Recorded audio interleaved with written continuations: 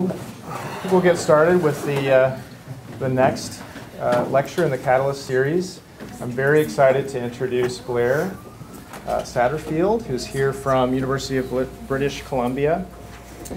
We had uh, some uh, background uh, discussion within our Catalyst group, and we all shared stories about our interests, how we got into architecture. Blair shared the a little bit of his uh, early career, where he studied medical illustration and uh, graphic arts prior to uh, pursuing a career in architecture, which explains, at least in part, uh, uh, his dexterity uh, with the pen and other tools. And Blair received his undergraduate degree, a Bachelor of Science in Architecture at the University of Illinois in uh, 1991 and studied uh, architecture, earned his master's degree at Rice University uh, after that. Uh, that's how we came to know each other. Uh, my first, uh, my introduction to Blair was he was a teaching assistant for Yung Ho Chang, who's quite a, a well-known Chinese architect. He was teaching at Rice at the time. And Blair was one of his, I think there were three uh, TAs, and and so Blair was reviewing the work of first years and second years as as a third year student, and uh, so and and uh, I remember at the time uh, noting his you know really uh, ability to be really critical, but at the same time positive and projective. So uh, we're we're still making use of that skill today by inviting him here. Uh, so while at Rice, uh, Blair not only worked for Yung Ho Chang, but also Michael Bell. Uh, after that, joined Bricker Kennedy Architects, where, where the three of us worked together for a while. And uh, while practicing, Blair taught at Rice and also taught uh, at the University of Houston, uh, where he was involved with the University of Houston Green Building Components Initiative. And a lot of that research and working with Mark as uh, their uh, co-founders and partners of HouMinn Practice uh, investigates uh, material behaviors and, uh, and uh, procedures and raises really interesting questions regarding materials and mass customization and, and some things you'll probably see here today. I'll just wrap up with kind of a, a, very brief and um, not, not sufficient, not adequate summary of, of uh, Blair. I think Blair's uh, contribution. Uh, he's a deeply critical thinker uh, with remarkable verbal and graphic prowess. Uh, and he navigates uh, a wide ranging territory of ideas to develop meaningful architectural concepts. So, looking at everything from kayaking, you know, race, kayak race or canoe race dynamics to sports, uh, a whole variety of fields to understand, uh, for example, the nature of agency and control uh, versus improvisation. Uh, but brings it, brings it back to architecture to make something really meaningful to the discipline. And I personally appreciate that Blair is both an agile academic thinker as well as an empathetic human being with a great sense of humor. So with that, please join me in welcoming Blair.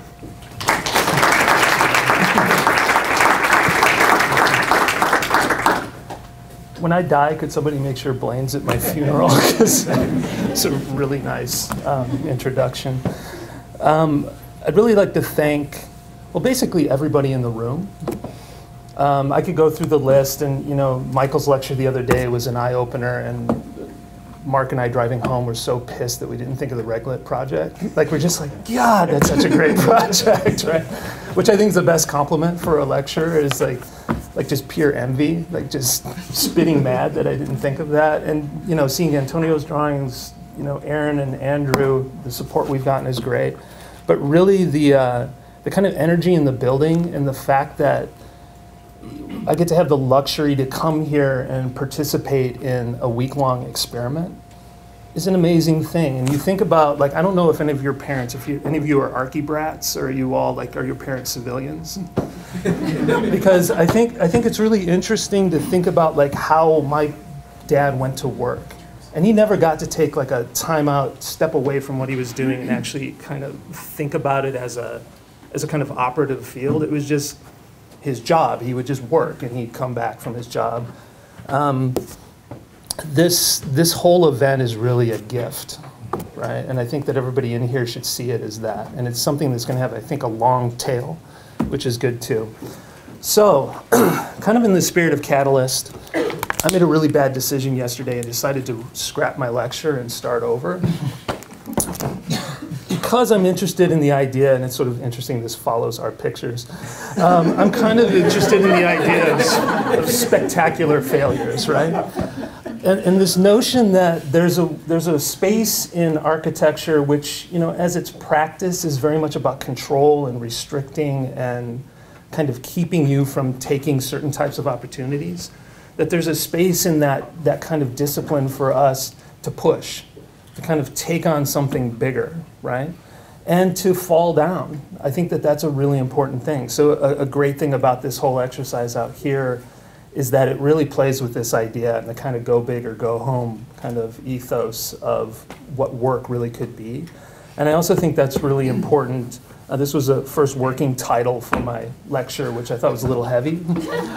um, but these are some of the problems that our generations have saddled all of you with, right? This sort of notion of, of these big issues that are kind of kind of foregrounding every idea that you have to present in, in a school. So I actually went through and I drew little caricatures to sort of soften the blow of this, but I still thought it was sort of a bad idea. So the reason that I like these three ideas of garbage, neoliberalism, and death is kind of the way they graph, right? So if you kind of couple neoliberalism and garbage, you get the whole problem of sustainability. It's sort of our rampant consumption of things and that sort of idea. If you couple garbage and death, you get sustainability. You have consumption on top. And I've been trying to figure out how neoliberalism, and death couple. And I think it has something to do with Viagra in that this sort of attitude we have about not being comfortable with the fact that we're dying. Not being comfortable with the fact that our bodies change over time and there's going to be a finite limit to our time here. And I think that in a way, the kind of political construct that we're living in right now has a big bearing on the other two, and that all of these things are sort of twisted up, right?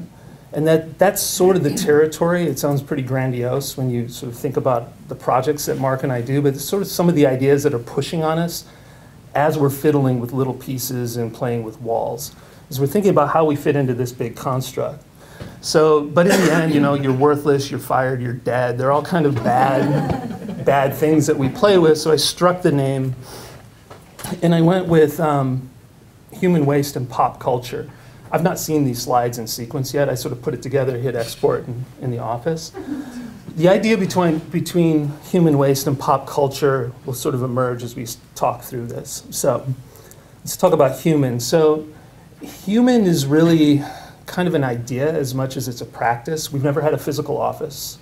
We very rarely lived in the same city, which sort of set up an idea of collaboration, right? Like, how do we work together? What is the space of our office and what's the space of our collaboration? So, HouMinn as an idea is about that that sort of collecting and distribution and sort of shaping your team like the problem at hand instead of trying to have an edifice through which problems flow. Um, Another idea, and this is something that actually we've been working more and more with Blaine and thinking about, is another mashup that we haven't revealed yet, which is a mashup of Minnesota and Vancouver, which is maneuver. And the idea here is that maneuver is all about the idea of agency, which is something that's emerging out of all of these teams that we've put together, right? So both of them are homophones. So they're mashups of city names, so Houston, Minnesota, HouMinn, but they also have carry a second meaning in that case, the human capital that we leverage for our work, or the sort of positioning of our work in a bigger system so that it can have its, the most agency possible. So that's what those two things are together. And the reason those look like catcher's mitts is because they're my hands, not Mark's. So. We, of course, do other kinds of work. We've, we've worked on stick and brick architecture projects, landscape projects. projects that you're very familiar with here. This is another thing that was really bothering me throughout the week is it's weird to give a lecture for your partner. And it's really weird to give a lecture to a group of people who have a really kind of intimate understanding of the, a lot of the things you're producing, right? So I thought I would err on the side of, of casting it in a bigger kind of framework as opposed to drilling in on the actual things, although we'll look at some things today. We're also interested in other ways of playing the system. So gaming is a big part of an interest. I was a part of a spectacular failure, which was an internet startup called Hometta, something Luke actually worked on and did a lot of the graphics for. We were really beautifully positioned at exactly the wrong time. So we launched um, kind of a virtual version of uh, Sears Roebuck House Catalog using architecturally designed building plans for um, cheap, sustainable buildings. We developed a virtual platform. We made a neighborhood with the buildings in the neighborhoods. That's, that's our building next to a Wes Jones building that he, he gave to the project where you could get an avatar, walk around, open doors. You could actually buy things through the medium of that space.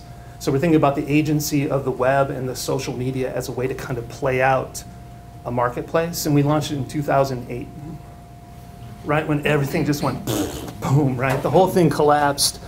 We got to be in newspapers and things like that. And then, you know, the company's a sucking chest wound, which is okay, right?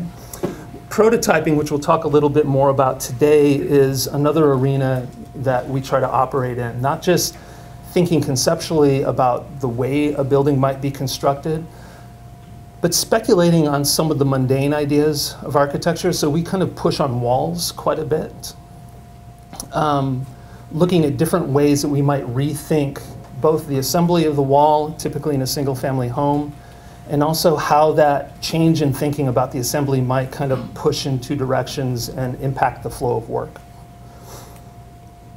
Um, we change scales at times. We think about projects that have to do with distribution or specific materials, networks, customization. You guys are all sitting there, great, so what, right? And so the first thing I want to talk about is working. And these slides are a little ridiculous. They're pulled from um, when I had to teach uh, pro practice because I practiced in a variety of different ways. They sort of knighted me as a pro practice person for a while. Um, I made slides for that. So one of the things that I brought up in pro practice is the idea of oil. I lived in Houston for 18 years. I think oil is interesting for a couple of reasons. One, the territory of work that goes along with oil is vast, and it's thought of a sort of a continuous line. It's a territory. And the oil companies, who are arguably some of the top five most powerful companies, if you think about Shell, Exxon, companies like that, have control because they take control of all of that territory. There's not a part of that stream that they don't take, right?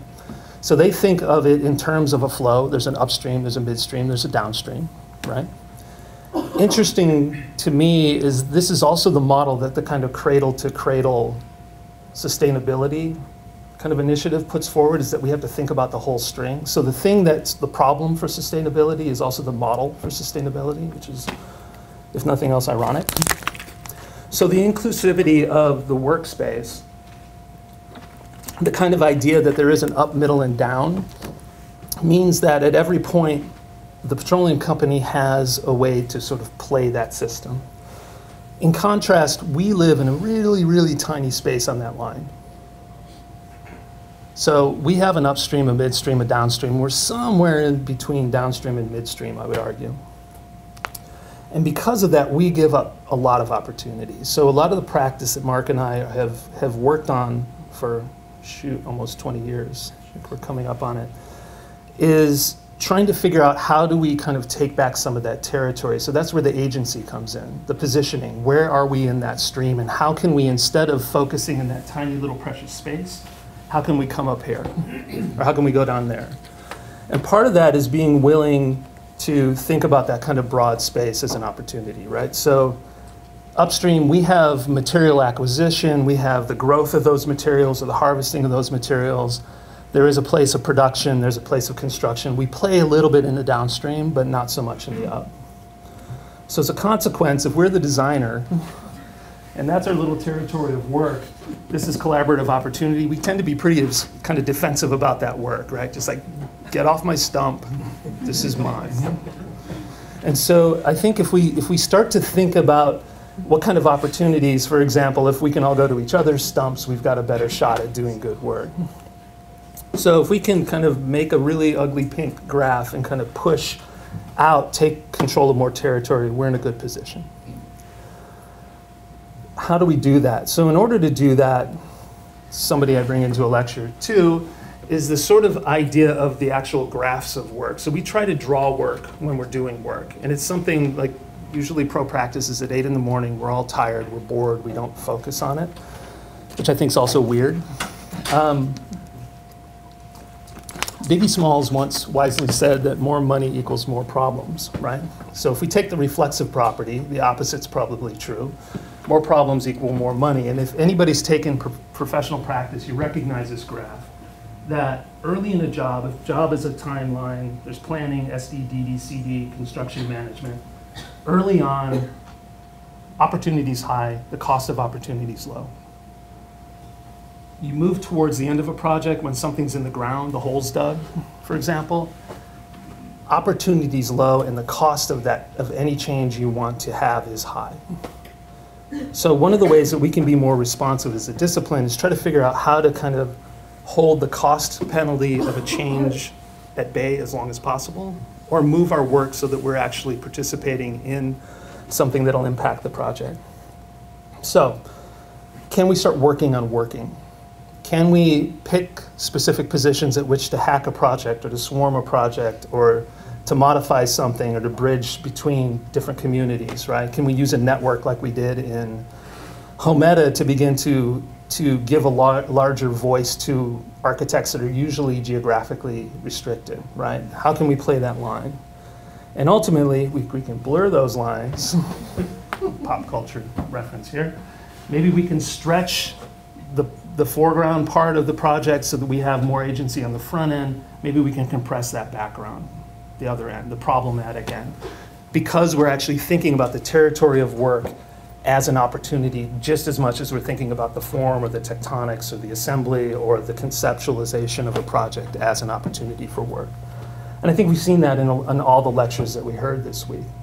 The way that um, Luke and Cami talk about books or the way that um, the other projects have been discussed, I think are all playing in this space. And we're just trying to make that part of the space somewhat of the problem.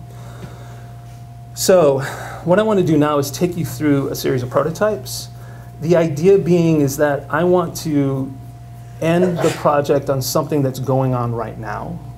That's a potential spectacular failure or a potential idea that can begin to push forward for us, right? And it's kind of a, it's kind of somewhere between pitches that Mark and I have been making to each other, which is part of how we work. You get an idea and you sort of you have to package it in a way and send it. Then he can draw on top of it and send it back because we don't always sit in the same space. So we try to use the distance between us as a way to kind of formalize our thoughts. So let's go through a couple of the ideas on the graph. So modding, right? Advancing architectural design through a kind of a targeted modification. Um, really quickly, and again, a lot of you may have seen this work through Mark.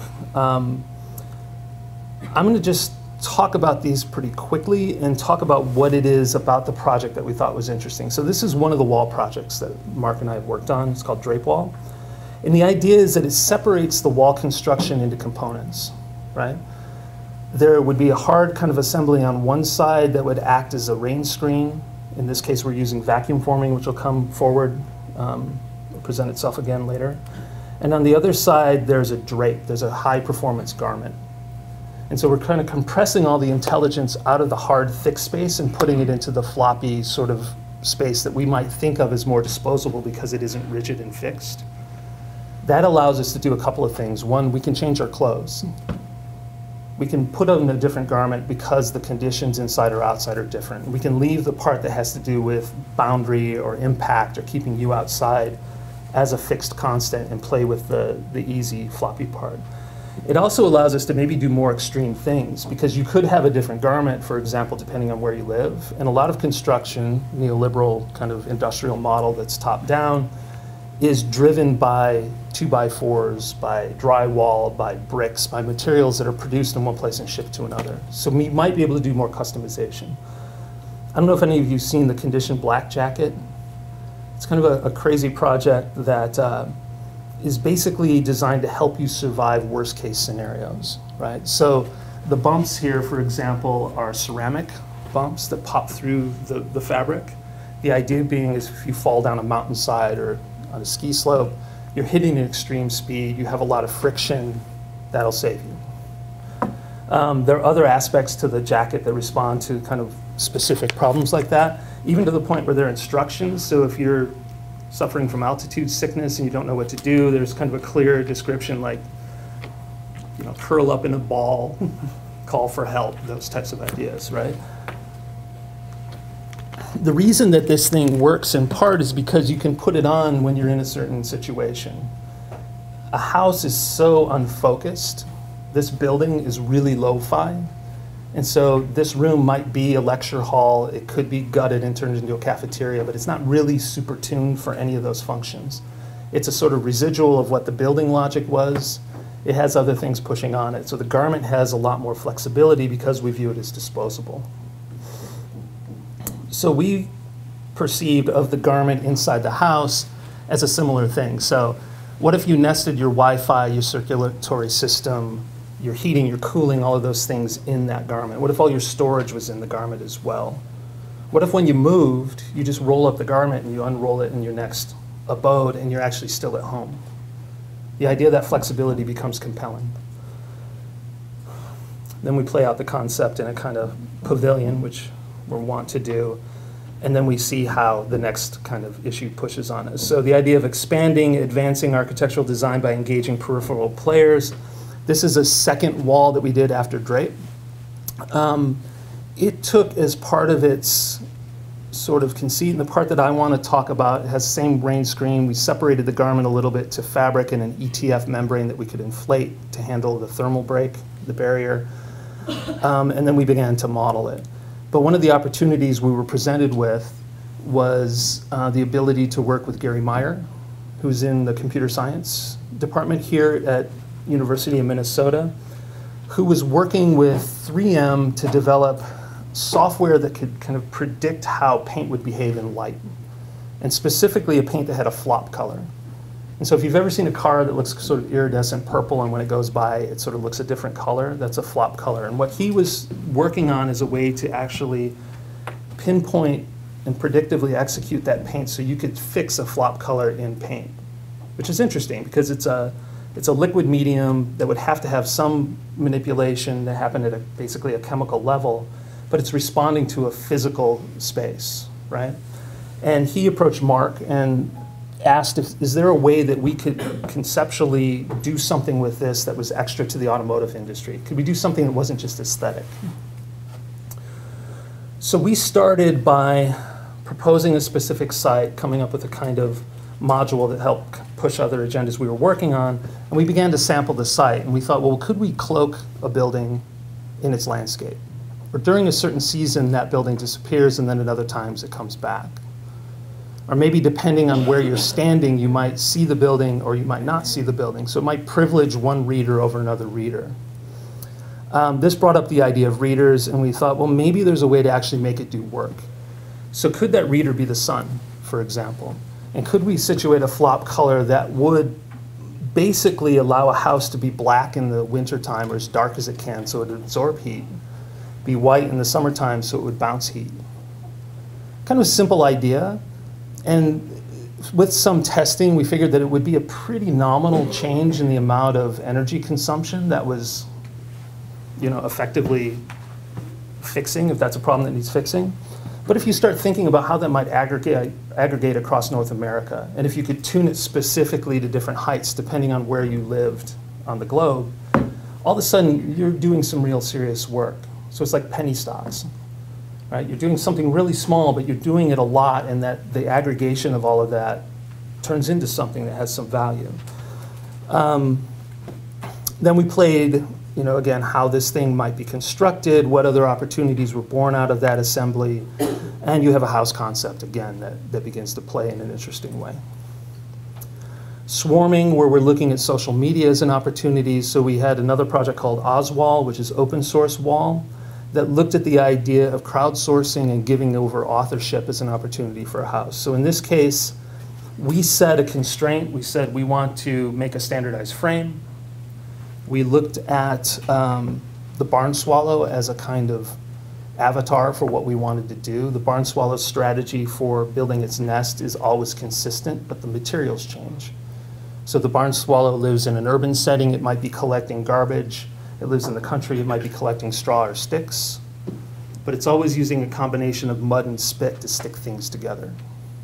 And the form is by and large consistent because the environment it wants has to do with that form. So we began to work back and forth and think of ways that we could use a connector specifically to spatialize various materials in a predictable way. So instead of working on the actual form of the wall to start, we worked on the connection. So we came up with a bracket system. We actually came up with a tool that would allow us to really quickly and efficiently form something that could be flat packed and shipped and formally change it. So with a series of dies, we could come up with different shapes. And the result was a spatialized assembly that could take two by fours and turn it into a wall as opposed to just lining them up. Now that's not super efficient because a two by four wall is pretty efficient. So we began to think about other things we could use. Could you, for example, use smaller timber members? Could you use one by twos to make a wall that was as strong as a two by four wall? Could you use bamboo in another region? The reason the one by two is interesting, um, at least one reason it's interesting, is it's sort of considered a garbage wood compared to a two by four. It's a lesser wood. It's also something that could be milled out of salvaged wood. So it opens up opportunities so you're not necessarily using first source resources when you're building a home. You could be scavenging, which is something that could be a fundamental game changer if we could begin to deploy that piece, right? Some of these things we've actually tried to patent. We were told by review boards that it's a good idea, but the construction industry is so entrenched and so slow to change that you never get the thing off the ground, right? is depressing, but it happens. So the exterior of the house um, takes on a different strategy. So where the interior, the frame, the bones of the house have a kind of kind of set fixed logic to them that can be played out in a variety of ways, but it's pretty closed. The exterior is more open. So what if a house could be completely open source was the idea that was the challenge so like a phone that you're familiar with or like a car company that's located in phoenix um, called Local Motors, you might have a kind of basic organizational strategy for the vehicle. In this case, it's a rally fighter. Um, it's a very masculine car, but it's, it's a fixed car that these guys design. And what they would do with the rally fighter that I think is interesting and related to the phone is they basically build the OS, just like here. They set the formal agenda for the project, and then they open up details to the broader community. So it works a little bit like Threadless T-shirt company in that they want to speculate on the side mirror.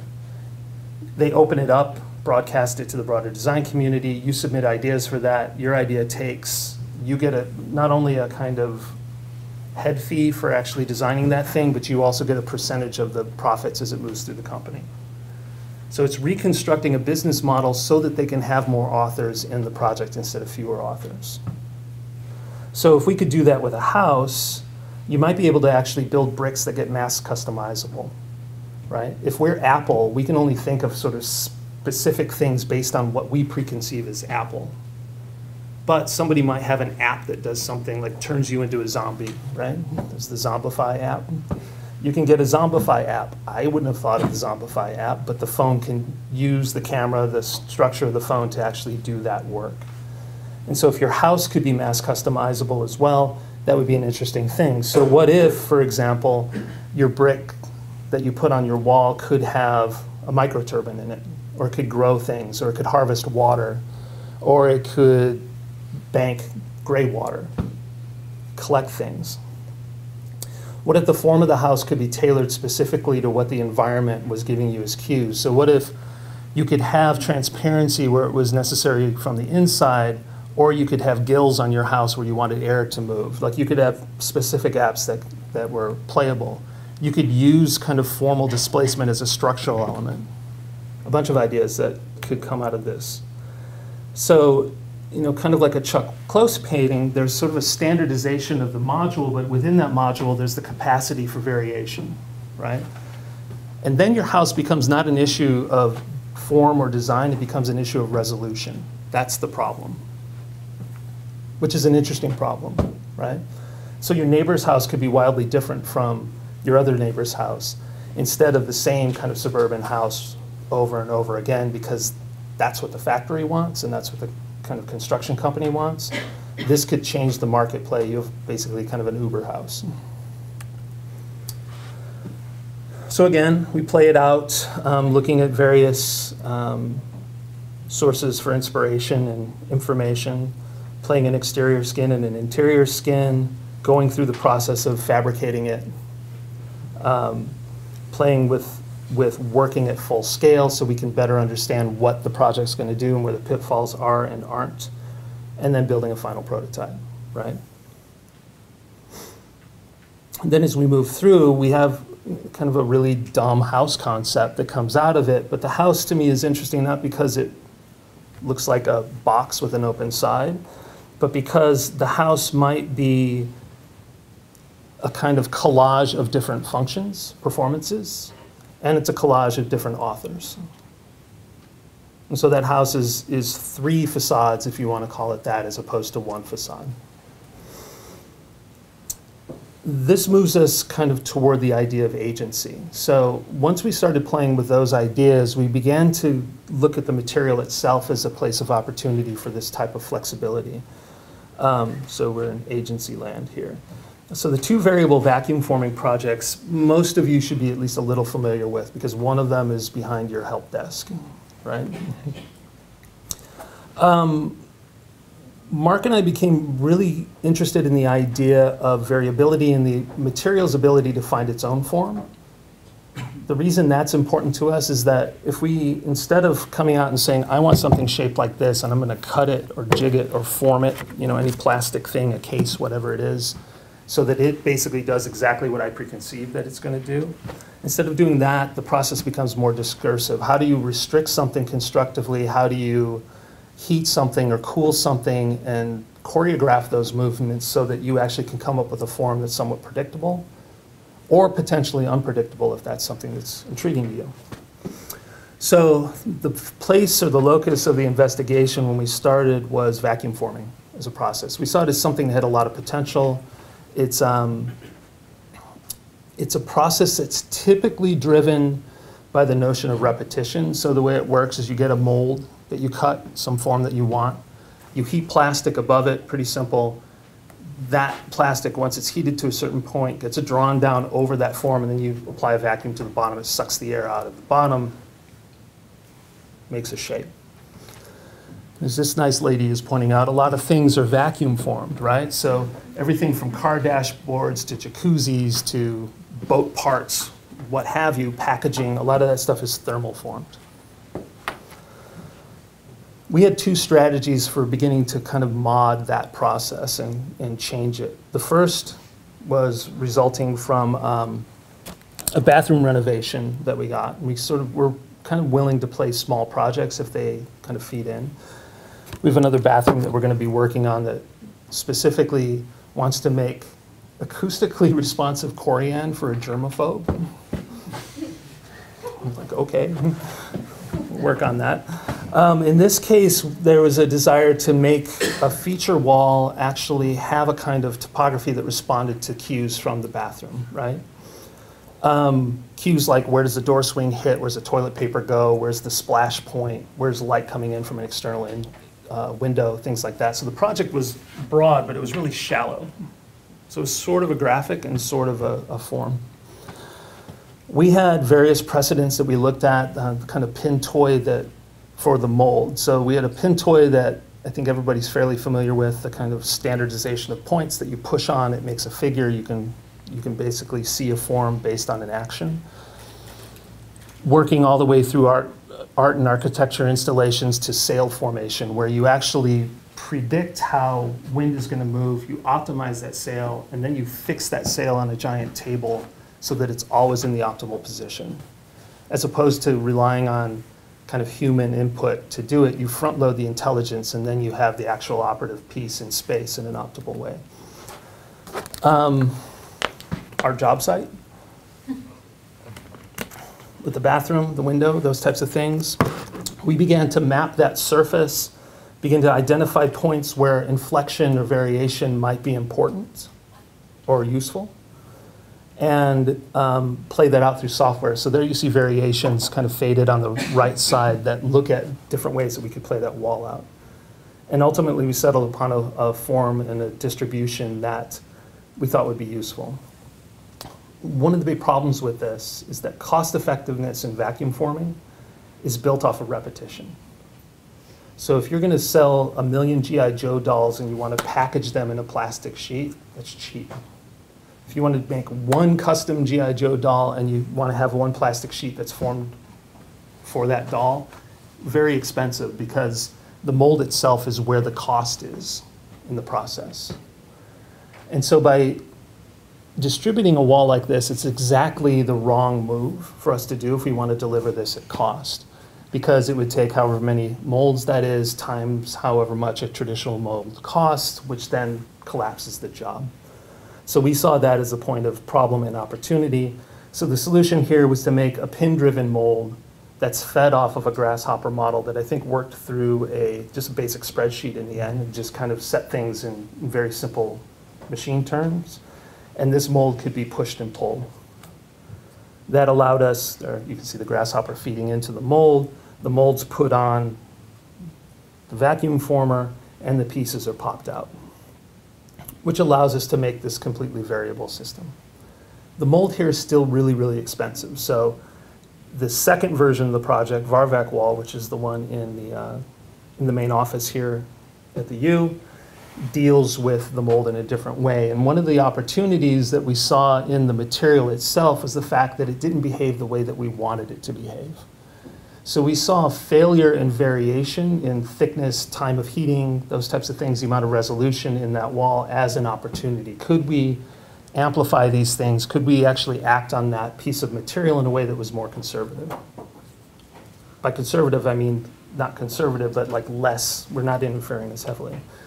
So the parts of that wall as they sat in the courtyard, we began to look at examples that were um, done by architects who are much more accomplished than we'll ever be. So here's a project by Corbu.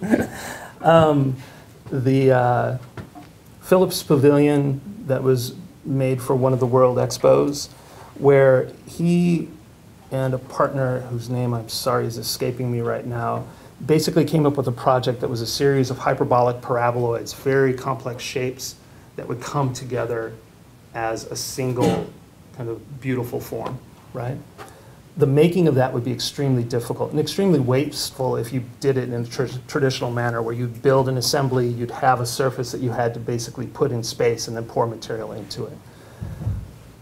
So the brilliance of this project is, at least some of it as we're concerned, is the fact that they used a sandbox basically as a means of forming. So a lot of variability in the sand and it's completely disposable material and they began to form that material in the sandbox, lay the rebar down, pour the concrete, and it's basically a tilt wall building that came up and assembled. And then we began to look at other projects that have a kind of variability or freedom for the material. So the steel chairs that come flat and you inflate them, which is an interesting idea. They kind of get delivered to you like a bicycle inner tube. There's a work of architects like Miguel Fisac who um, uses fabric to form concrete. Um, Mark West is somebody who's done a lot of really important work in that way. Andrew Kudless's projects, things like that inform us. So we began to play with the mold. How little could we constrain the material? And then how would that play out? Which comes to how do you make it specific? How do you get to the point where you can actually apply this thing? So there's a site. Basically, we did a, a, measured drawing of the site, began to map requirements onto the site, in this case, acoustic, absorption and reflectivity, scatter. Um, figured out what the module of the machine that we were using was, the vacuum former, laid that out as a grid over the system, and then um, Phil's here. Um, one of our, our collaborators um, basically wrote a script file that would organize wires or lines in a way that would help us to kind of play this game out. And so what happened was is you get a distribution of wires depending on the space between the wires, the depth of the draw changes. And by setting a datum, which I'll show you in a second, we could top the draws off to expose a soft body behind it. And so in this case, felt. So where you see openness over here, there's more absorption. Where you see closed, you see more scatter. And so there was a direct relationship, correlation between the pink and the open and the white and the closed. And so because we could deal with that as a gradient, we could come up with both random variability and a way to play this thing out. And the thing that I think is really beautiful about the project, and the guys here are the ones who figured it out, is that the mold itself became completely disposable. So instead of blocks and blocks and blocks of metal or MDF that's had to be milled, it's just a hole in a, in a frame with wires stretched across it. So that whole thing was made with that tool. So really high sophistication, really a lot of front-end work to educate the software and each other about what the material is going to do, but then the deployment of it is completely lo-fi and completely cheap. So some of that testing, so depending on the time of the draw, the amount of heat, the thickness of the material, you could get these really, really tall, tall draws that come out of that single tool. Um, there's about a six inch line that was set as a datum, so a tool was designed just to come and top the buttes and cut them off. So if you needed exposure, you knew you'd have a taller one that would get cut, so that'll be uh, an absorptive panel. But if you didn't, like the one in the middle on the far right that's closed, that would be a scatter panel. And then there's your project.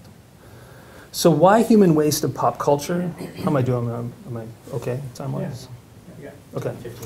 Um, this is where I'm going to jump to big scale again. So these wall projects are all feeding into a proposal that Marc and I have been working on together.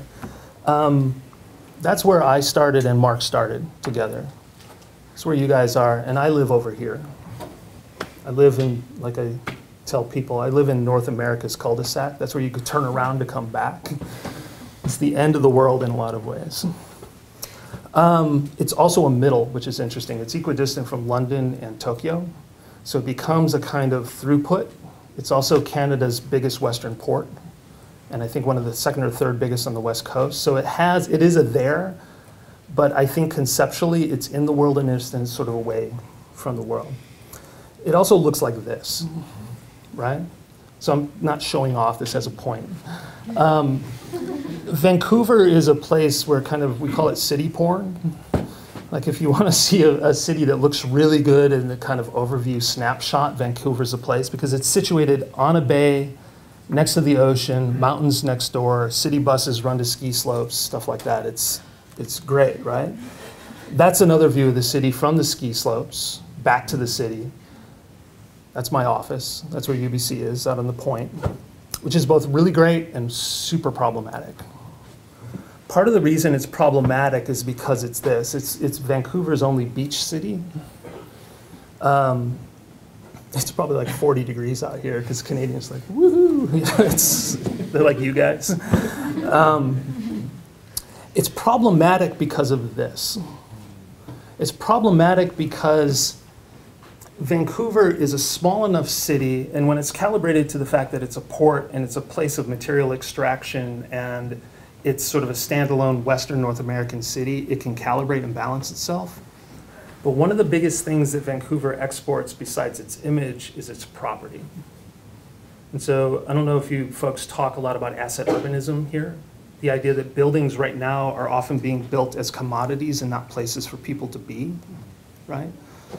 So there is a big issue with asset urbanism in Vancouver, where it's open to global capital. It's one of the few places on the planet, at least in the, in the first world, that has very few restrictions on who can buy in that land. So the whole world can play in the real estate market there.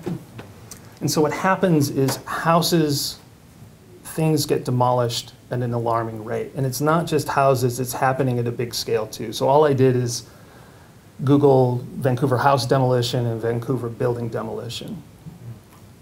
All the original building stock is getting churned because of this sort of neoliberal problem that profit is good, progress is good, new is good. And more importantly, the kind of frictionless flow of capital is an objective, right? So a stat, it's a city, kind of metro is probably not unlike here. It's about 2.1 million people in the metro area. These are stats from the last six years. Roughly on average, about a thousand houses a year get demoed.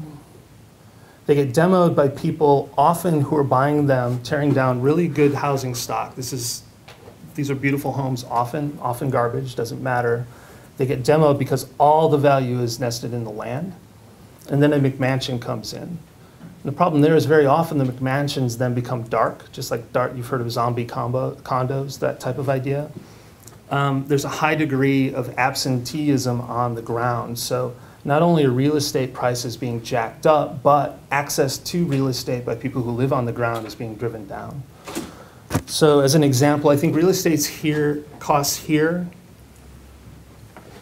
are on par with Manhattan as far as land value goes.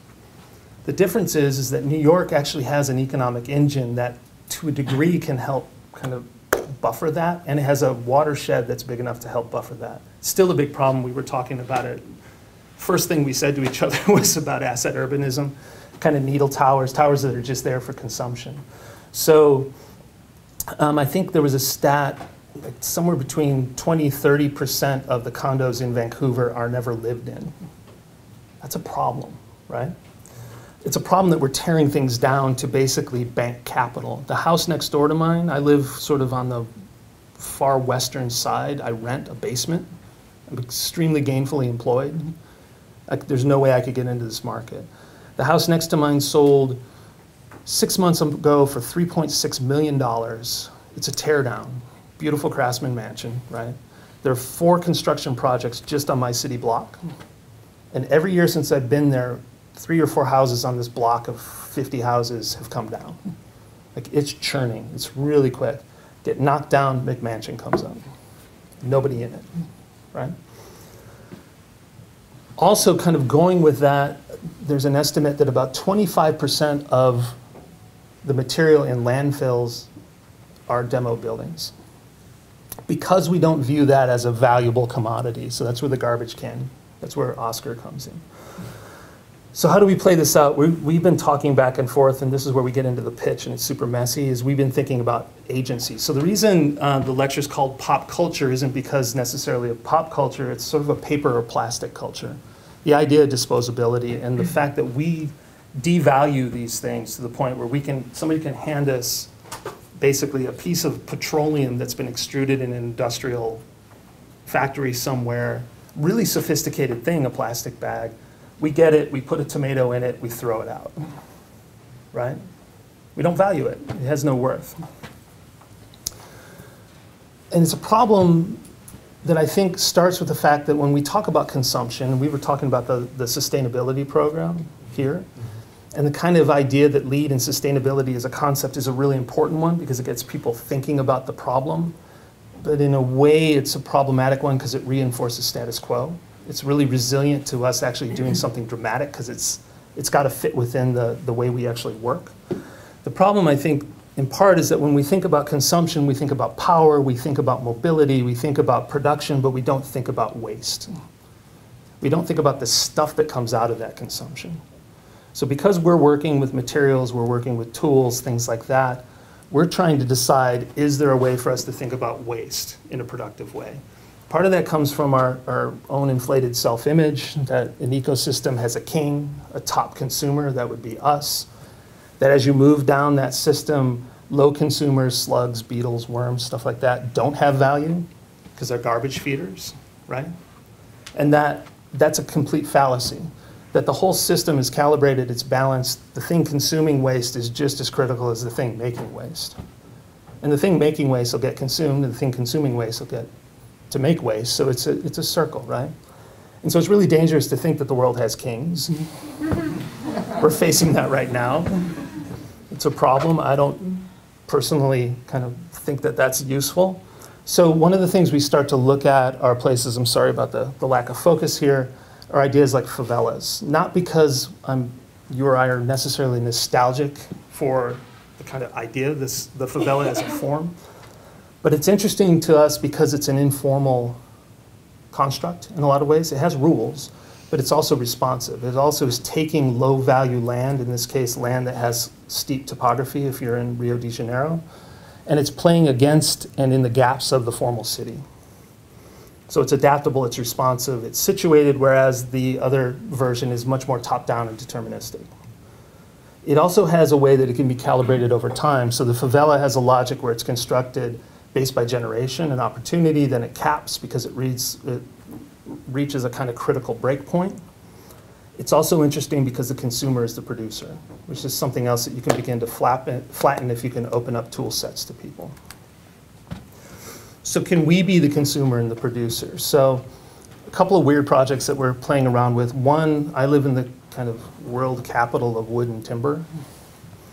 Um, we're working on a printer that prints paper pulp as a first order product, which is useful for a couple of reasons. One, because paper pulp and wood pulp more specifically can be generated from waste from somewhere else. So we tear down a house, instead of throwing it in a landfill, we could take broken timber, chew it up, keep the fiber intact, and begin to print with it.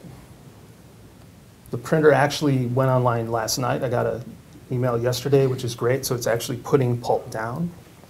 We're also working with magnesium concrete, which is sort of an outlier form because it works really well with cellulose. It'll bind to it. So we're working on adding nozzles to this that are variable and began to pump concrete pulp, a retardant in air in a kind of choreographed way to play things out.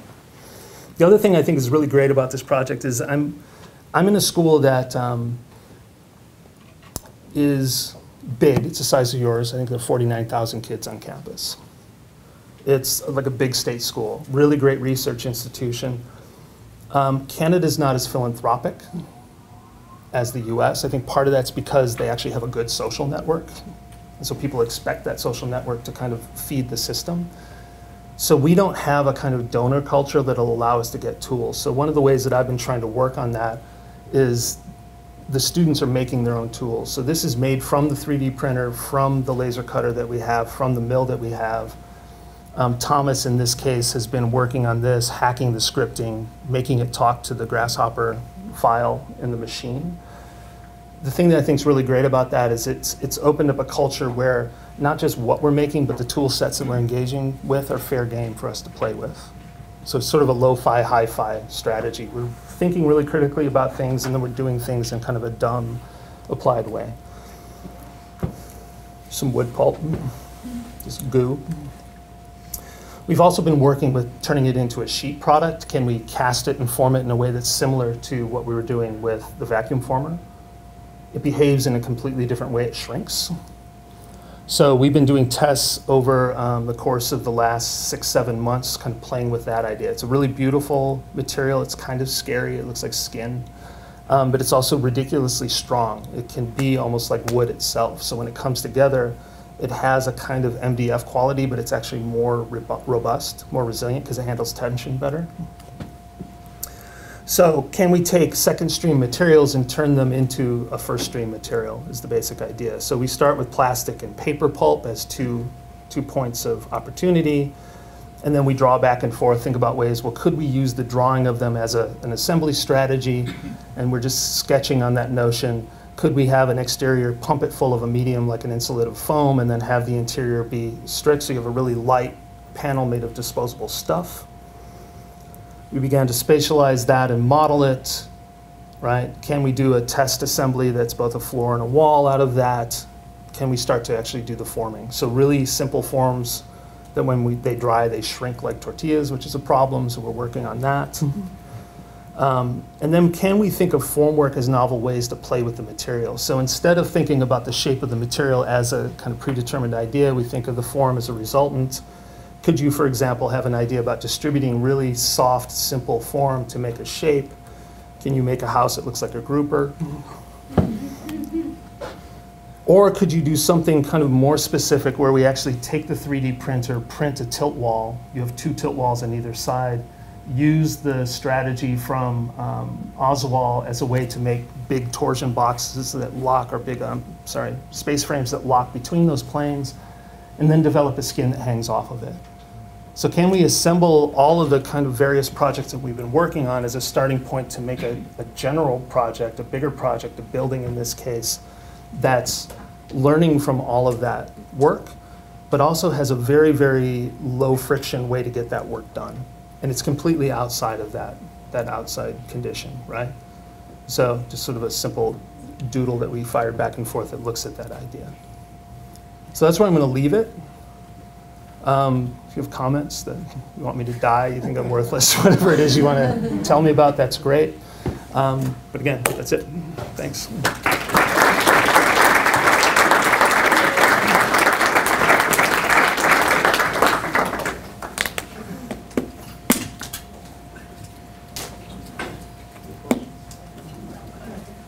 Yeah. How easy is it to like build your own tools like that? Like what is the, what is the framework that we can copy that? So one of the things that helps is if you have uh, Thomas.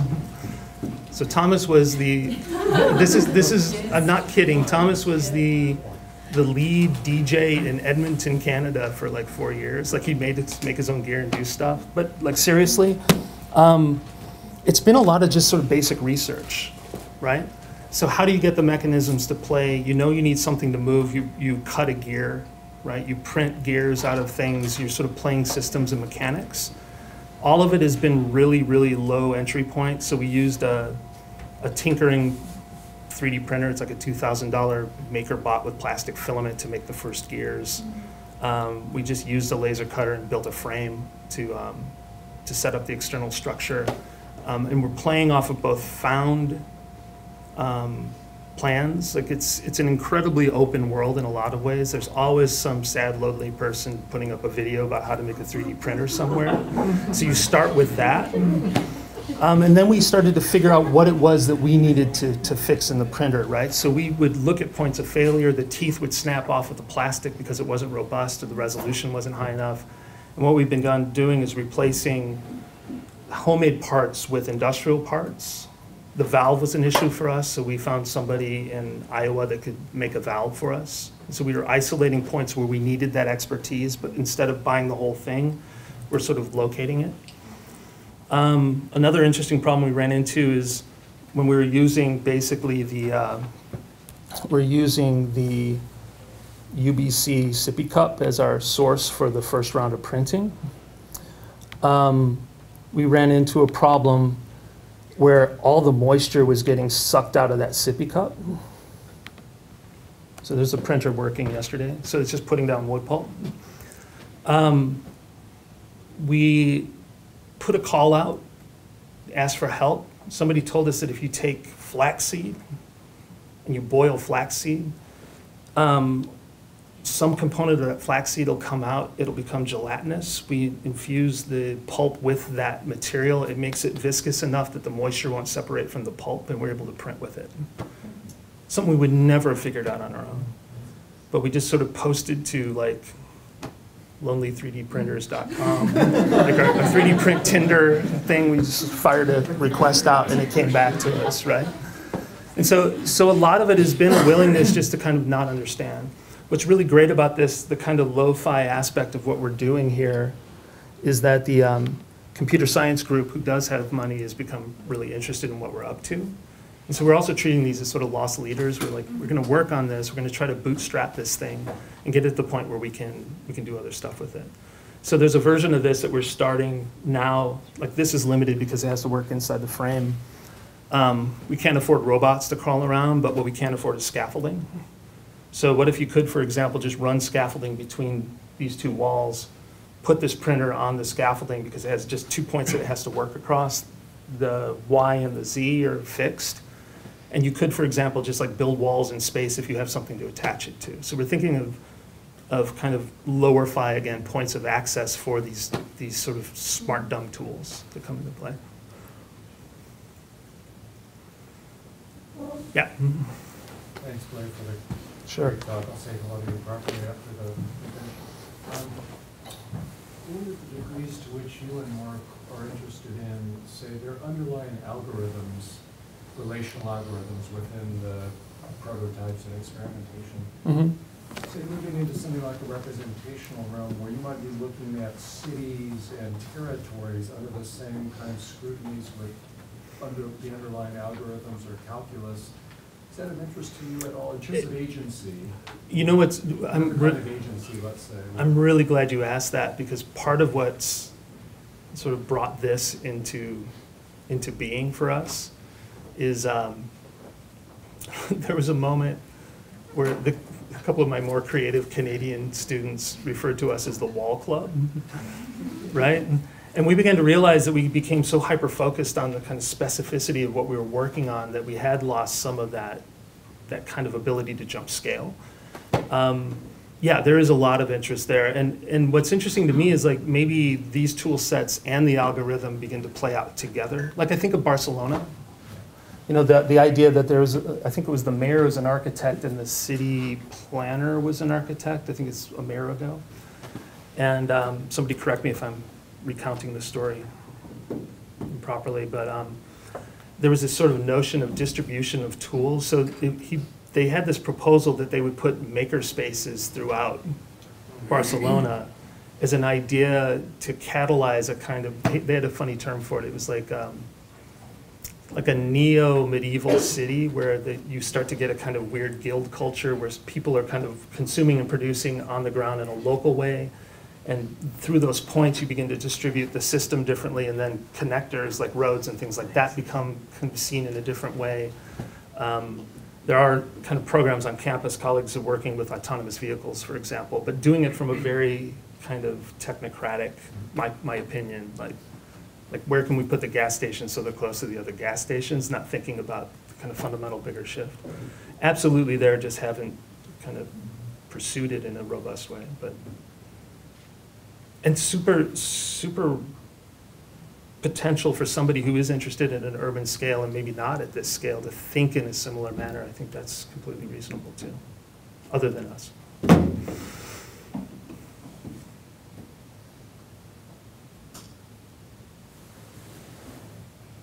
good. If anybody wants to put on the suit and run around in the courtyard, they can do that too. We're playing with the VR suit. It's maybe another version of this at some point. Oh. Um, Yeah, yeah. I think you are uh, proposing a great technological tool that can be used in different uh, fields of action. You know, from sustainability, structural issues and so on. At the same time, it's like a cell. Yeah, It's like a cell. yeah. And the issue somehow comes, what do you do with the cell? Right. And uh, for example, you took, you showed the Philips Pavilion by Le Corbusier, which is clearly the application of a new technology, Mhm. structural uh, research, and so on. The pavilion was designed by Xenakis, Mm-hmm. which was really a musician. Yeah. And that pavilion comes out from a diagram which is based on a music score that Xenakis developed Mm-hmm. and the Corbusier together.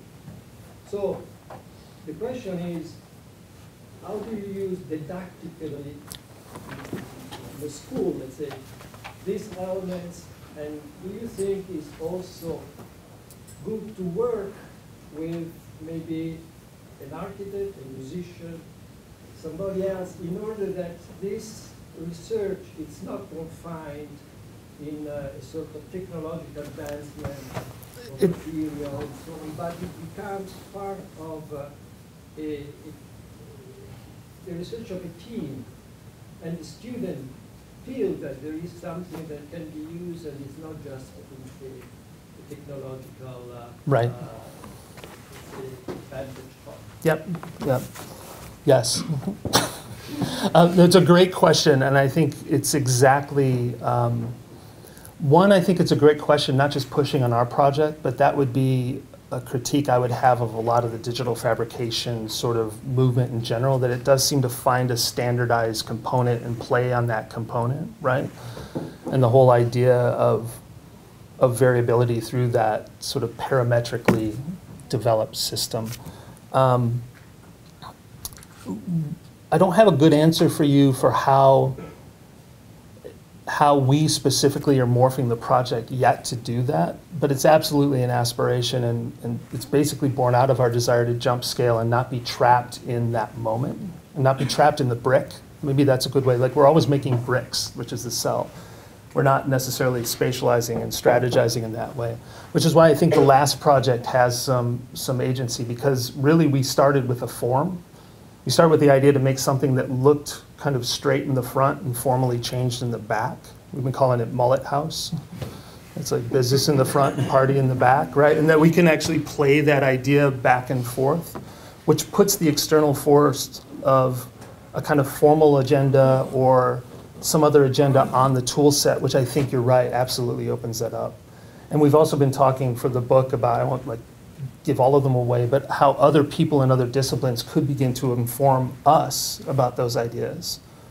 Like we were just talking about, because it's a little selfish, like how people who make wine or whiskey have a degree of play in that system. Yeah, we're done, sorry.